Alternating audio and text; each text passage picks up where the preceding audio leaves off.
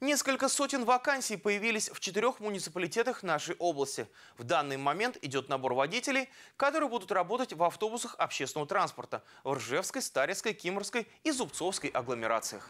Напомним, что в июле на этих территориях вводится новая модель пассажирских перевозок, инициированная губернатором Игорем Рудени. Благодаря ее внедрению появится 340 рабочих мест, из них 240 – шоферы. В настоящее время компания «Транспорт Верхневолжья» проводит набор водителей категории «Д» для работы на городских и пригородных муниципальных маршрутах. Все они будут официально трудоустроены и получат полный социальный пакет. В дальнейших планах провести аналогичную реформу в Конакове, Вышневолочке и Торжке.